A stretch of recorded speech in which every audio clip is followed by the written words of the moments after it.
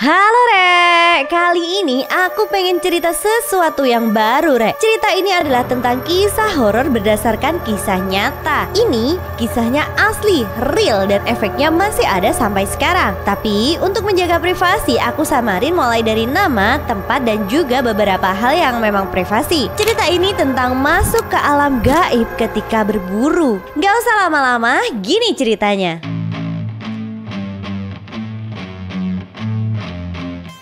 Cerita ini dikasih tahu ke aku waktu masih SD, tapi ceritanya selalu diulang-ulang dan pengulangan dari ceritanya konsisten. Jadi nggak mungkin ngarang. Kejadiannya sekitar tahun 1995-an. Aku belum lahir tuh. Terus yang ngalamin sebut aja namanya Pak Sarno. Re. Kejadian ini terjadi di daerah Jawa Timur. Nah, Pak Sarno ini kerjanya serabutan. Berbagai macam pekerjaan dia geluti. Apa aja deh, pokoknya bisa bisa cari makan pasti akan dijalani. Beliau ini adalah orang yang bertanggung jawab banget. Apa pun demi keluarga pasti beliau lakukan. Kadang beliau ini kerja jadi tukang balon, terus jadi kuli dan pekerjaan kasar lainnya. Nah, pada tahun itu nyari kerja emang sulit banget. Modal juga nggak ada. Terus beliau juga kerja berburu burung. Abis itu dijual nih ke pasar burung. Zaman dulu namanya jualan burung ya, rek hasilnya dikit banget. Kalau nggak salah satu burung itu harganya cuma 5 sampai 10 ribu lah. Namanya kepala keluarga, emang kepala ditaruh di kaki, kaki ditaruh di kepala. Ya untungnya keluarga beliau sekarang sudah makmur, anaknya udah sukses semua.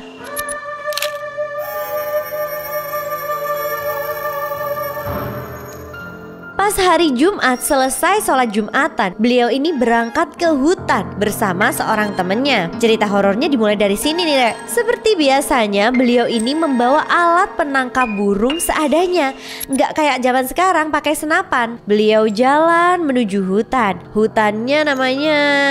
nggak ada namanya. Pokoknya hutan gitu aja. Beliau masuk ke hutan mengharap mendapatkan rezeki buat anak istrinya di rumah. Selama keberangkatan sih nggak ada yang aneh normal-normal aja dan semua berjalan lancar. Di bibir hutan, Pak Sarno sama temennya ini ketemu sama orang gak dikenal. Orangnya kayak kakek-kakek gitu. Ini yang bikin aku heran kenapa kalau cerita horor pasti ketemu sama orang random ya. Tapi nggak apa-apa lah. Emang di sini letak serunya. Kakek ini kayaknya juru kunci hutan tersebut. Ngobrol lah Pak Sarno sama si kakek. Kalau orang zaman dulu kan unggah-ungguh atau sopan santunnya tuh baik gitu ya. Pak Sarno ini juga seperti itu. Beliau kan sedang nyari nafkah di tanahnya orang. Jadi biar lancar, beliau ini minta izin sama si kakek. Kakeknya ngizinin. Pokoknya harus bener nyari rezeki dan gak berbuat yang aneh-aneh. Terus kakek ini bilang, disclaimer sama si kakek. Kalau di dalam hutan ada kampung yang penduduknya gak kelihatan. Kampung gaib lah istilahnya, Rek. Pak Sarno dengan menunjukkan kesopanan, beliau mengiyakan dan setuju dengan ucapan kakek tua tadi itu. Ya udah, nggak pakai lama, Pak Sarno sama temennya ini akhirnya masuklah ke dalam hutan ini. Area hutan yang mereka datengin masih wajar kayak hutan pada umumnya.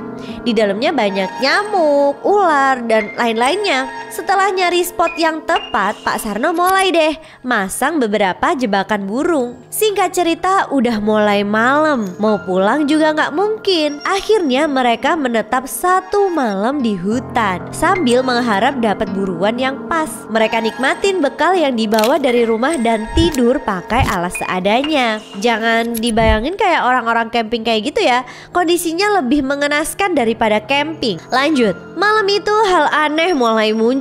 Sebenarnya belum malam-malam banget sih, Rek. Sekitar jam 7 Isya lah ya. Waktu itu kabutnya tebel banget. Tebelnya nggak karuan gitu. Tapi setelah jam 9 kata Pak Sarno kabutnya turun dan suhunya jadi dingin. Di tengah kabut yang tebal tadi rek, dari kejauhan muncul sesosok wanita kayak siluet wanita gitu. Terus di belakangnya ada beberapa pengikut yang bentukannya kayak gorila kalau menurut keterangan Pak Sarno. Badannya besar dan berbulu. Bayangan itu cuma diam aja di balik kabut. Waktu itu rek yang lihat cuma Pak Sarno doang. Temennya nggak tahu karena udah tidur. Mereka ganti-gantian ceritanya. Berhubung Pak Sarno emang nggak ngelakuin hal aneh, bayangan itu ya cuman muncul doang, nggak ganggu, cuman diem aja. Nah, Pak Sarno ini orangnya cukup skeptis dan rasional. Soalnya kalau dilihat dari latar pendidikan beliau, emang seorang sarjana yang gagal jadi dosen karena digeser sama orang yang menyuap. Jadi beliaunya ini nggak percaya hal-hal yang kayak gitu kecuali emang kelihatan langsung di depan matanya. Oke lanjut. Hari kedua mereka ngecek jebakan burung yang ada di hutan itu tadi. Tapi sayangnya nggak ada hasil. Akhirnya Pak Sarno dan temennya tadi mutusin buat berpencar. Pak Sarno ngambil arah berlawanan dengan temennya itu. Kok mereka berani ya? Ya prinsip mereka sih emang pantang pulang sebelum menang. Bodoh amat deh mau ada setan kek apa pakai mereka terobos aja yang penting bisa bawa pulang uang. Setelah keduanya udah sepakat berpisah, Pak Sarno pergi dengan ketabahan hati dan keyakinan pasti bisa mencari rejeki buat keluarganya. Pak Sarno ini sebenarnya punya penyakit asam lambung yang lumayan parah, tapi nggak dipedulikan. Waktu itu udah nggak ada lagi yang bisa dimakan rek. Perbekalan udah habis. Bikin asam lambung Pak Sarno naik. Beliau udah kecapean juga sih sebenarnya ya. Akhirnya Pak Sarno pingsan. Pak Sarno ini pingsannya cukup lama Antara 1 sampai 2 jam. Lalu coba tebak apa yang terjadi ketika beliau bangun. Ketika bangun, beliau ini didatengin sama dua makhluk berbulu tebel dong. Kepalanya agak botak, ukurannya segede pohon beringin. Waktu aku tanya sama Pak Sarno ini, nggak bisa nyebutin makhluk apa ini. Kalau dibilang kera tapi kok gede banget. Dibilang orang tapi kok serem. Makhluk yang beliau lihat ini mirip banget sama bayangan yang ada di balik kabut tadi malam. Meskipun makhluk ini bentuknya serem, mereka ini ternyata bawa dua wadah makanan di tangan mereka. Yang satu bawa ayam bakar yang dibentuk kayak sajen gitu, dan yang kedua bawa buah-buahan seger.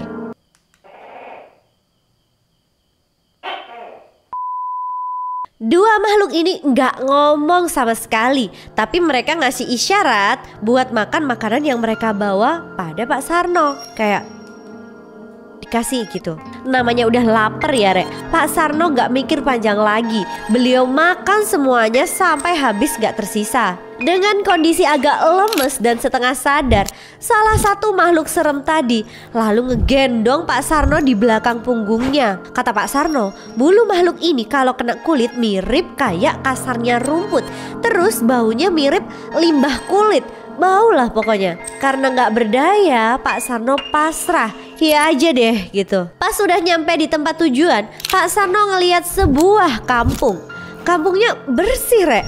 Tapi yang aneh, penduduknya berbulu semua. Perlahan tapi pasti Pak Sarno dibawa ke sebuah tempat khusus.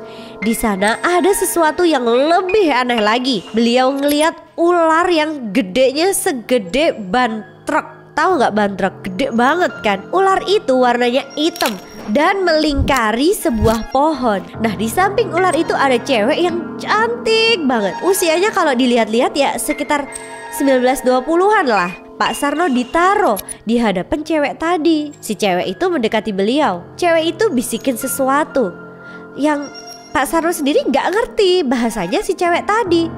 Dengan kondisi masih lemes dan setengah sadar, beliau dikasih minum. Pas masuk ke tenggorokan, rasanya segar. Tapi pas masuk perut rasanya bikin mual dan panas banget. Setelah minum ramuan aneh tadi, kesadaran Pak Sarno langsung hilang dan semuanya jadi gelap dong. Ketika bangun, beliau langsung sadar dan berdiri. Beliau agak takut setelah kejadian tadi. Tapi anehnya, sakit lambungnya tadi perlahan udah pulih. Nah, udah punya tenaga nih. Beliau terus lari deh. Niatnya mau kabur pokoknya. Beliau kira pasti udah ditinggal pulang nih sama temennya. Secara dia ngalamin mulai pingsan sampai di bawah makhluk aneh tadi Itu kayak udah berhari-hari Ada kali seminggu. Dia cuma mikir satu hal yaitu kabur. Saking cepetnya lari Dia nggak sadar Kalau ngelewatin temennya tadi. Nah temennya tahu dipanggil tuh sama temennya tadi. Pak Sarnonya nggak sadar Terus sama temennya dikejar Jadi kejar-kejaran Terus temennya teriak-teriak nih Heno, Sarno, Hop, Madeko Gitu Akhirnya Pak Sarno berhenti karena merasa tersentak Mereka berdua pun ketemu dan nyeritain semua yang telah dialami sama Pak Sarno. Temennya nggak percaya dong, karena temennya ngerasa mereka itu berpisah baru sekitar tiga jaman. Tapi Pak Sarno ngerasa udah pisah semingguan.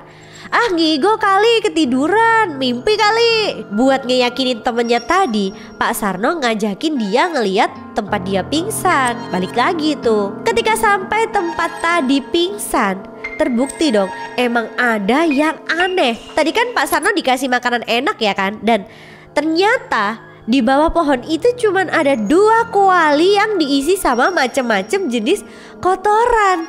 Gila nggak tuh? Pak Sarno gemeter dan nangis. Soalnya di mulut beliau emang ada bekas kotoran yang masuk. Merasa kejadian ini aneh banget, Pak Sarno langsung muntah sejadi-jadinya.